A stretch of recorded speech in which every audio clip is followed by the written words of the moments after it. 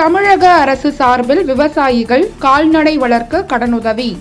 ஈரோடு மாவட்டம் வெள்ளி திருப்பூரில் தொடக்க வேளாண்மை கூட்டுறவு சங்கம் மூலம் விவசாயிகள் கால்நடை வளர்க்க ஐம்பத்தி ஏழு லட்சம் ரூபாய் குறைந்த வட்டியில் வழங்கப்பட்டது.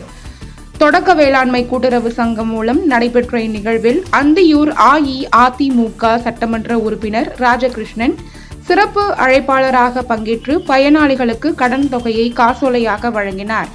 தமிழக அரசால் தொடக்க வேளாண்மை கூட்டுறவு சங்கம் மூலம் குறைந்த வட்டியில் வழங்கப்படும் கடன் தொகையை பயன்படுத்தி பசுக்கன்று மற்றும் செம்மறி ஆடுகள் வளர்த்து பயன்பெறுமாறு அதிகாரிகள் விவசாயிகளை கேட்டுக்கொண்டனர்.